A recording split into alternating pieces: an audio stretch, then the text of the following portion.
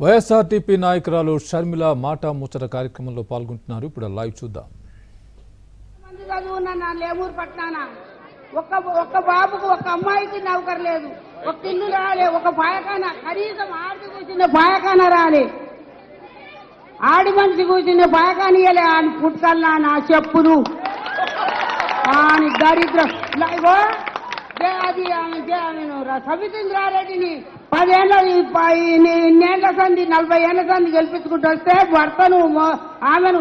ఆయన ఈ రాజ్యం ఊరికి వచ్చిన నా ఇంట్లోకి వచ్చి నా ఇంట్లో రొట్టె తిని సర్పు మేము ఎమ్మెల్యే అయ్యిండు.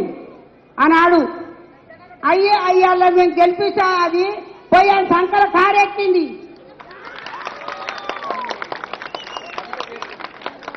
ఎందుకు? ఇట్లా మా ఊరంతా అంతా ఆగమాగం అడిగాడి ఉన్నది జర రండి ఇప్పుడు గిట్ల తిరిగి గిట్ల రండి ఏమన్నా మోరీలా ఏమన్నా ఊరా ఏమన్నా రోడ్లా? ఏది లేదు. రాజన్న రాజ్యంలో చేసిన నాడే ఉన్నది. మా ఆయనకు బస్ కింద కాలు ఇరిగితే పింఛన్ కొట్టేసిండ్రు. ఊరు పెద్ద మనుషులు కొట్టేసి అట్లయితే బాగలేదంట అని మళ్ళా మేమే కొట్టేసామని మా మీద చెప్పిండ్రు.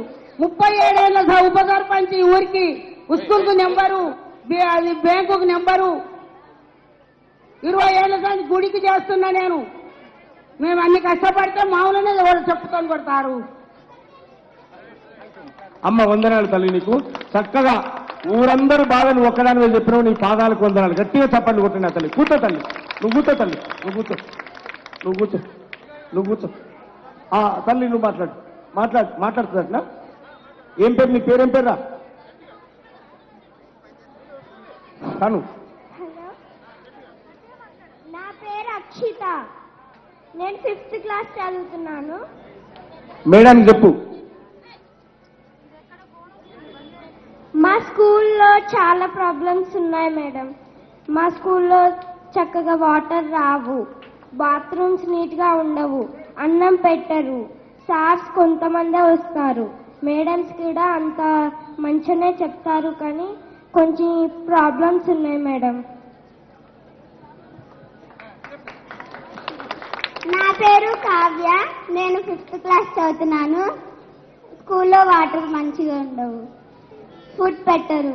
బాత్రూమ్స్ మంచిగా లేవు మేడం టీచర్స్ సార్స్ మంచిగా ఉంటారు మేడం ఓకే అమ్మా ఓకే. ఖచ్చితంగా షర్మిలక్క గారు ఒక్కసారి గట్టిగా పిడికిలెత్తి షర్మిలక్కకు మరి మీ మద్దతు ఉందా? షర్మిలక్కకు మీ మద్దతు ఇస్తుందా మీరు? గట్టిగా చెప్పట్లు! మీకోసం భవిష్యత్ తరాల కోసమే పాదయాత్రతో బయలుదేరింది. మరి మన అక్కకి మనందరం చప్పట్లతో స్వాగతం తెలియజేద్దాం. అక్కతో అడుగుల్లో అడిగేద్దాం అమ్మ నెక్స్ట్ మీరు మాట్లాడండి అమ్మా. మీ పేరు చెప్పండి తల్లి. నా పేరు వెంకటమ్మ. మీది ఎవరమ్మా? మహేశ్వరం. మహేశ్వరం. ఓకే అమ్మకి చెప్పండి. బేడా గుడియజంగం మాది. క్యాస్ట్ మాకు డబుల్ బెడ్రూమ్ ఇస్తాను అంటున్నారు. ఎవరు ఇవ్వట్లేదు.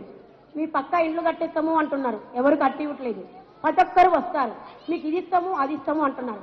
మేము కూరు గుడిసెలు వేసుకొని బతుకుతున్నాము. ఎవరైనా సరే ప్రతి ఒక్కరు వస్తే మీకు ఇక్కడే కాదు వేరే దిక్కు జాగిస్తాము అంటున్నారు. ఎవరు ఇవ్వట్లేదు.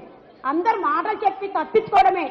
ఓట్లు వచ్చినప్పుడు మాత్రము గుబగుబగ ఊరుకొస్తారు అందరూ వస్తారు. ప్రతి ఒక్కరికి అడుగుతారు.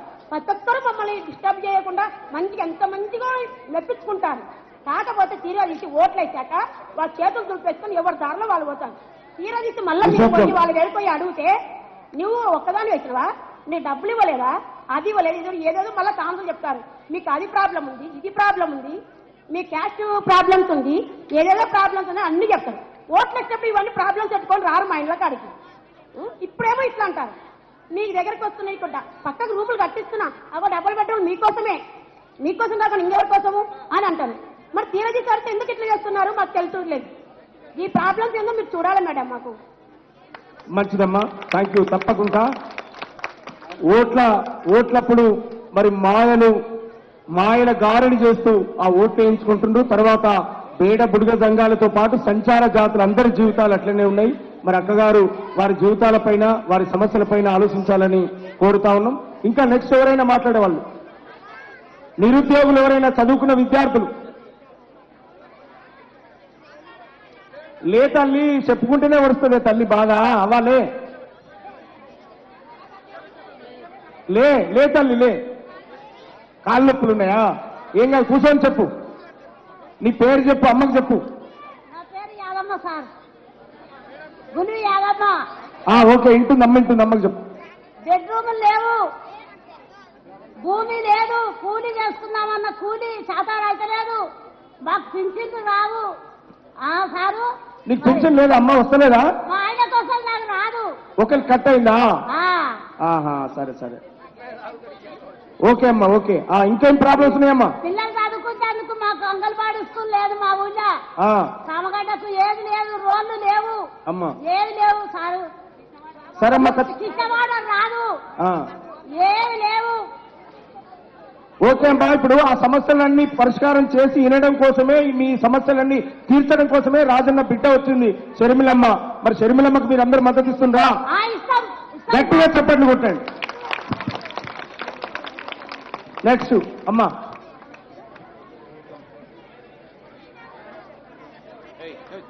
చెప్తాను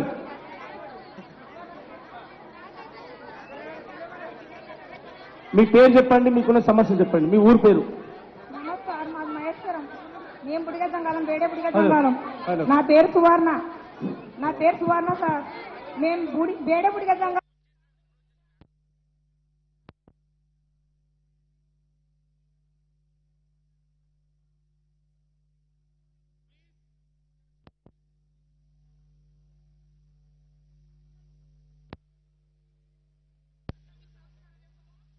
మాకు ఇల్లు లేదు మేడం. ఇండ్లు లేవు వేరే పట్ట ముందు రైతు ముందులో గుర్చలేసుకొని నెలకు వెయ్యి రూపాయల కిరాయి కట్టుకొని గుర్చలేసుకున్నాం మాకు చాలా ఇబ్బందులు డబల్ బెడ్రూమ్ ఇస్తామన్నారు మూడు ఎకరాల పొలం ఇస్తామన్నారు పింఛన్ ఇస్తామన్నారు ఎన్నో మా పిల్లలు చదివిస్తే మీకు ఉద్యోగాలు ఇస్తామన్నారు ఏది లేదు సార్ మాకు. మాకు ఏ సౌకర్యం లేదు.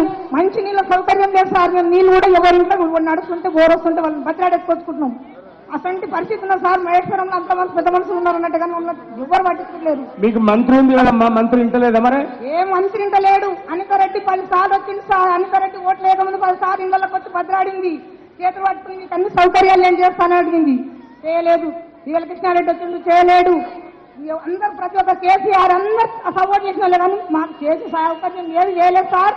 ఇప్పటి వరకన్నా అప్పుడు సార్ చేసిందే మేలు అప్పుడు రూపాయి కిలో బియ్యం చేసింది అదే నడుస్తుంది అదే పింఛన్ నడుస్తుంది. ఇప్పటి వరకు బస్సుల బుడిగ తంగాల పేడ బుడిగ తంగాల బస్సుల. అదే పింఛన్ అదే రూపాయి కిలో బియ్యం అదే నడుస్తుంది సార్ చేసింది. అంతకన్నా ఎక్కువ ఏది నడుస్తలేదు సార్. సార్ చేసింది ఉంది కానీ ఇప్పటి వరకు కొత్త సౌకర్యం ఒక్కటి అందలే మాకు. ఇప్పుడు సారు బిడ్డనే వచ్చింది రాజన్న బిడ్డ వచ్చింది. వచ్చింది మేడం వచ్చిందా మేడం? చెరువుల మేడం? ఆమె పాదాలకు కొంచెం నమస్కారం కానీ ఆమె తప్పకుండా సపోర్ట్ మేము ఉంటాం. మేము సపోర్ట్ ఉంటాం ఆమెకు ఖచ్చితంగా ఆపిస్తాం కానీ మాకు సౌకర్యాలు చేసింది అనుకో. ఆ జెండాను తీసుకుపోయి నీ గుడిసె మీద కట్టుకో. అక్కే వచ్చి నీకు ఇల్లు చేశారు. ఖచ్చితంగా. నీ వాడేగా అమ్మా. చాలా ఇబ్బందులు ఉన్నాము.